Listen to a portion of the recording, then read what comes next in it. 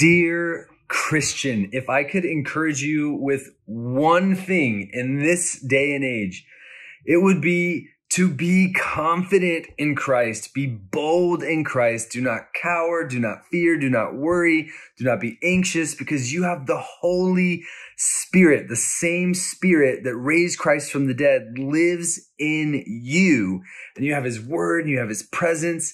He used to put His fire and His presence in buildings in the Old Testament and in spaces but now we are the living stones, the building of Christ, the body of Christ that he puts his fire and presence within. And so you are unhindered, unlimited. You have the capacity of the Holy Spirit. I mean, read almost anywhere in the New Testament. Right here, I'm in Second Corinthians, and I've just circled maybe 10 places where it talks about boldness, confidence, strength. Read it, let him in, and do not cower. Do not stress. Do not worry. Trust the Lord. Walk in his fullness now. You are not the tail. You're the head. You're not the back. You're the front. You're not under. You're above because of what Jesus has done.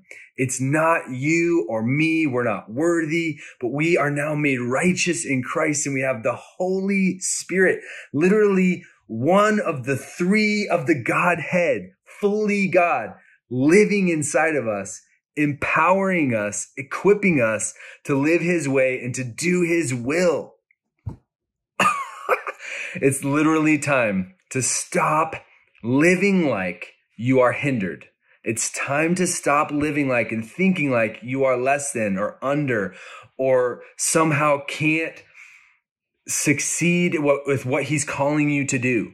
It's not about earthly success and all that stuff. We're talking about being about our father's business and and being equipped to be a mom, equipped to be a dad, equipped to be in that business or that ministry or that friendship or that conversation or whatever it is.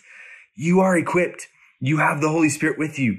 Don't worry. He will speak through you. Study the scripture. Second Corinthians 2 verse 14. But thanks be to God who always leads us in triumphal procession in Christ. Chapter 3 verse 4. Such confidence as this is ours through Christ before God. Verse 12. Therefore, since we have such a hope, we are very bold. It's time for you to be very bold. Verse 17. Now the Lord is the Spirit and where the Spirit of the Lord is, there is freedom. Walk in freedom. Walk in triumph. Walk in victory. You have the Holy Spirit in you. Chapter 4, verse 1. Therefore, since through God's mercy we have this ministry, we do not lose heart. Stop losing heart. Take heart, for Jesus has overcome the world. Chapter 4, verse 7. This all surpassing power is from God and not from us. Verse 16, therefore we do not lose heart. Chapter 5, verse 6, therefore we are always confident. Verse 7, we live by faith and not by sight. We are confident